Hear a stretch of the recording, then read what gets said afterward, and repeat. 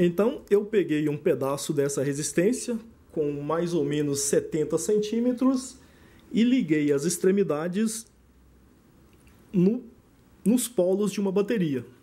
Né? Um aqui e outro aqui. Lógico, não vou fazer isso porque esse aqui vai esquentar um pouquinho. Então, com a resistência, com um fio, um fio dessa espessura, uma resistência tão fina, vai passar uma corrente aí entre 2 e 3 amperes. Então ela vai estar consumindo sempre aí por volta de uns 3 amperes. Desses 3 amperes, a gente vai extrair entre 1 e 1,5 que vai ser usado para carregar os nossos dispositivos eletrônicos. Eu vou usar uma outra bateria porque essa minha aqui está sem carga. Na verdade, essa daí não pega carga nunca mais. Eu vou usar essa daqui, que eu construí com células de retiradas de bateria de notebook. Então, ela tem aqui os 12 volts. Então vejam aí, vamos fazer uma medida. 12,7 volts então. Eu fixei aquele meu pedaço de arame nesse, nesse pedaço de madeira para facilitar a visualização aí. Então, o que nós vamos fazer é o seguinte, vamos ligar um terminal aqui e o outro ali. Então, esse terminal Deixa eu até inverter aqui para ficar com as cores iguais. Né? Então aqui, ó, positivo no positivo e o negativo no negativo. Não vou ligar, vou ligar aqui brevemente, né? Ela se aquece um pouquinho, então já está consumindo corrente da bateria.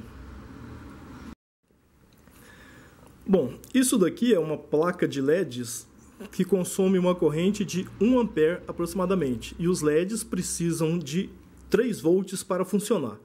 Então eu vou fixar uma das extremidades dessa placa de LEDs aqui.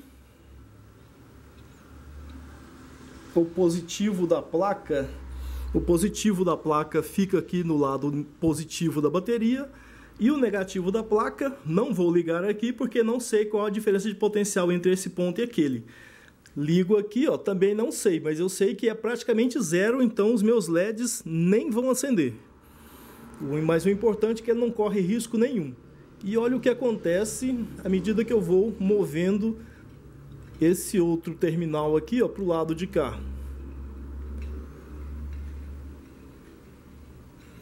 Ah, mas sem ligar a bateria nunca vai funcionar, né? Eu vou ligar a bateria aqui e vou apagar um pouco das luzes também. Então aqui, ó, ligando o outro terminal, né? Então pego esse esse terminal aqui, ligo aqui próximo e venho me afastando. Quando a, a diferença de potencial entre esse ponto e esse outro aqui ó, chegar por volta de 2,7 volts, os LEDs irão acender. Então tá aí. E quando ele brilhar com o brilho máximo deles aí, ó, eu tenho aí próximo de 3 volts. Acima disso, os meus LEDs vão pifar. Então, entre esse ponto e esse, eu tenho cerca de 3 volts. Se eu continuar me afastando, provavelmente vou atingir os 5 volts, que é o que eu preciso para alimentar uma porta USB. Então vamos tirar esses LEDs daqui. Ah, vou até fazer aqui com o voltímetro, para vocês poderem acompanhar aí a elevação da tensão.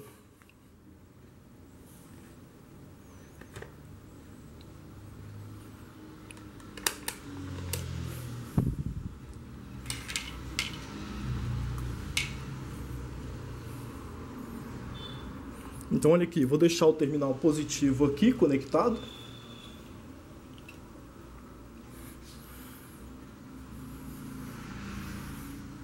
Conectar o terminal negativo aqui. E agora, olha o que, é o, o, que, o, o que vai aparecer no voltímetro, né? 0,4, 0,5, 1, 1,5, 2, 3, 3 volts. Se eu continuar me afastando, ó, vai chegar um momento em que eu vou obter o que eu precisava, ó, 5 volts. Então, ligando um terminal aqui e outro naquela outra posição, eu tenho 5 volts, que é o que eu preciso para alimentar a entrada USB. Então, nós temos aqui uma entrada USB que nós retiramos de um carregador que está com defeito. Conectamos dois terminais. Então vou ligar aqui ó, o terminal positivo do lado de cá e o terminal negativo do lado de cá. Vou usar o multímetro aqui para ver quando é que eu vou ter os 5 volts. Então conecto ali.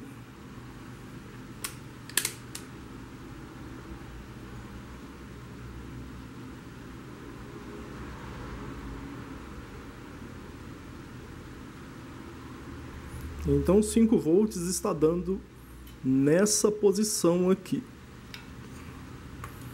Bom, então vamos conectar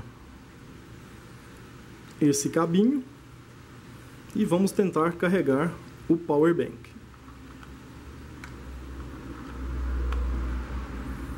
Então tá aí.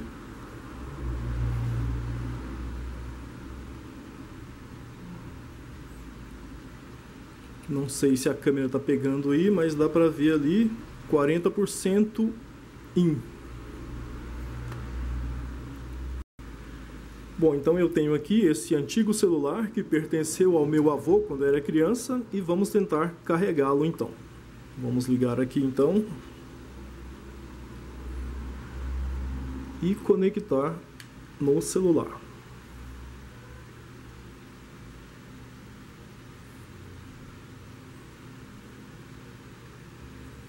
Bom, então está aí.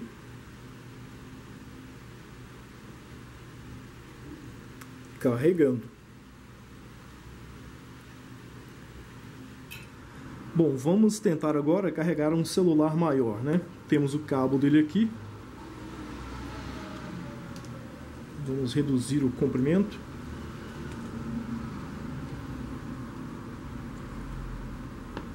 Colocar na entrada USB.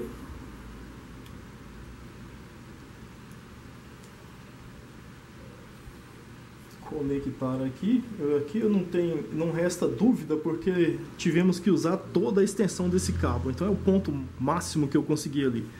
E agora vamos ligar a nossa bateria. E já teve início o carregamento.